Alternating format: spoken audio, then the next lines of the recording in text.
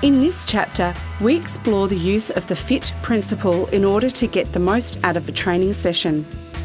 It's FITT, spelled F I T T, which stands for frequency, intensity, type, and time. Let's consider each element in turn. Let's start with frequency. When training, a decision has to be made about how often to train in order to allow enough time for the muscles in the body to heal and restore themselves. Cardiorespiratory training, or aerobic conditioning, ideally requires a minimum of three and up to six sessions a week to be effective.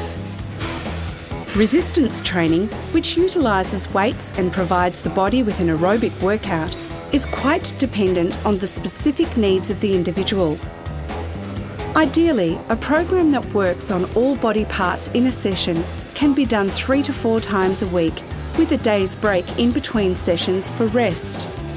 If the resistance program only focuses on one or two body parts per session, it can be completed almost daily. Intensity is the second FITT principle rule. It relates to how much effort is being put into the training session. The heart rate, measured in beats per minute, provides information about the intensity of an aerobic endurance workout. The maximum desired heart rate is calculated as 220 beats per minute, minus the person's age. For an untrained person on a training regime, a target heart rate zone of 50 to 70% of their maximum heart rate is a good place to start. So a 20 year old has a predicted maximum heart rate of 200.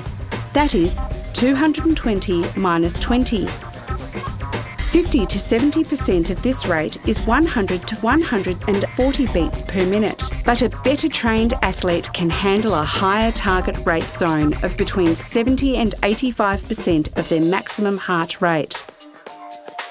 For anaerobic training utilising weights, the workload is a measure of intensity and has three components the amount of weight lifted during an exercise, the number of repetitions, and the length of time taken to complete all exercises in a set. The type of exercise is the third component in the FITT principle and refers to the particular kind of exercise that is selected as the basis of the training program. For anaerobic training, the best form of exercise to work the neuromuscular system is resistance training, which involves using weights, resistance bands, or completing circuit training with a focus on bodyweight exercises. The final T in the FITT principle of training stands for time. The length of the exercise workout should have a particular duration and should be taken into account when calculating the overall training time required to get into shape. For anaerobic training, people with lower fitness levels should aim to keep their heart rate within their specific target heart rate zone for a minimum of 20 to 30 minutes per session. As fitness increases, this can be increased to 45 to 60 minutes as fitness levels improve.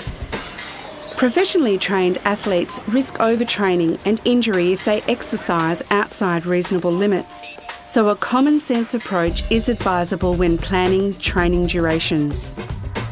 Research reveals that a minimum of six weeks is generally required before clear signs of fitness improvement are seen in training.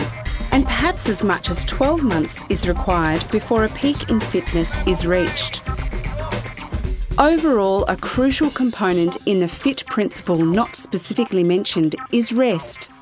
Exercising too frequently and too intensely hinders the body's ability to recover and adapt.